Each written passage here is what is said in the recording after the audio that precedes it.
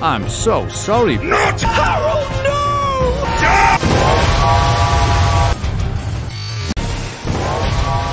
Enough games!